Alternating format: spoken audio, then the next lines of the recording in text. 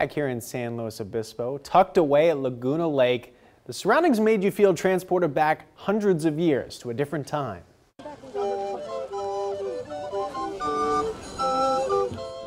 Ah, yes, the sound too. Dancing, acting, music, history, it was all there at the Central Coast Renaissance Festival this weekend at Laguna Lake Park.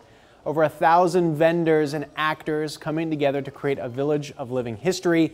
And those attending, well, they learned something and will certainly continue the fun memories, but they're not the only ones.